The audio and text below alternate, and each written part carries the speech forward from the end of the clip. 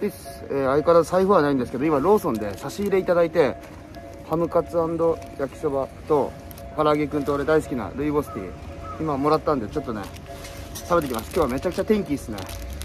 いやー嬉しいっすね。皆さんの優しさに助けられて。い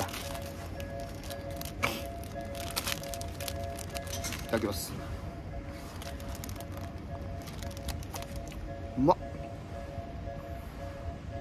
学生を思い出すね。この焼きそば。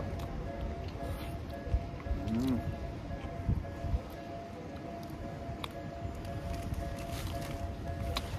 美味しいね。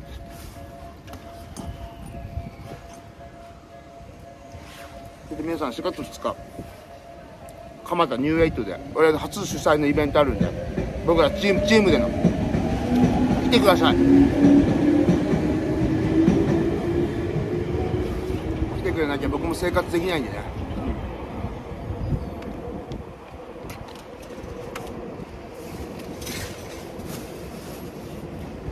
んレッド。やっぱレッドが一番うまいよね。いただきます。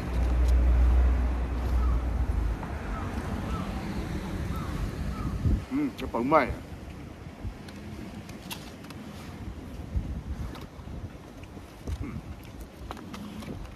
気に食べたらもったいないんでこれ後で夜食べます。ゴミもしっかり持ち帰って。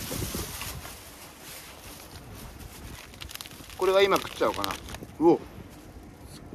どうよ。カツ。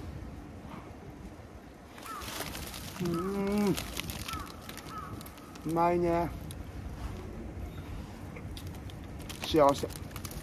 まあ財布はないけど生きてたら何とでもなりますから。人生皆さん、うん、これを見てください。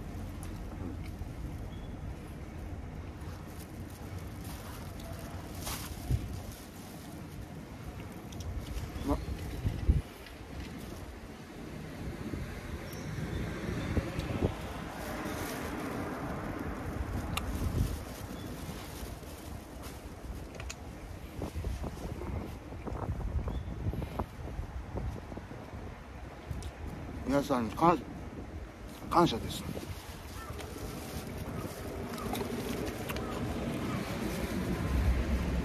ごちそうさまでした。